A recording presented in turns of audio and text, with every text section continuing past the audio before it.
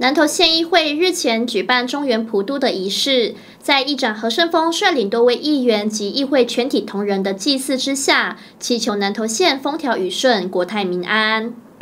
中原普渡分享礼请本经十方六路度众生，好兄弟已经太岁木顺年，幸福一年一度中原节前，农历七月十三日，南投县议会议长何胜峰率领。呃，法院议员、蔡中志议员、林芳议员、蔡宜柱议员、王彩云议员、陈淑慧议员、张志明议员、廖子佑议员、石庆龙议员等及咱全体同仁敬备香花素果、行礼金银财宝来奉敬，福位感纳领袖，并且议会议事顺利，议会同仁。家安得吉，本关国泰平安，风调雨顺。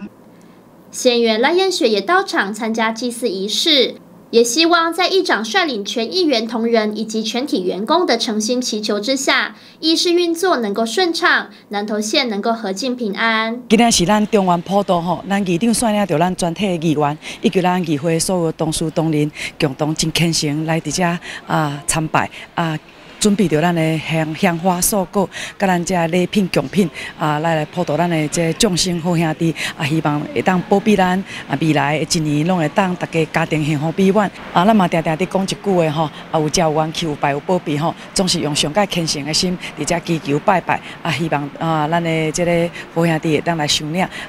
农历七月是台湾传统普渡十方六路众生的月份，议长何胜峰以及议会全体同仁。也依循传统准备祭品，普渡十方六路众生，祈求今年能够议事顺畅，南投县风调雨顺，国泰民安。记者陈维一南投县议会采访报道。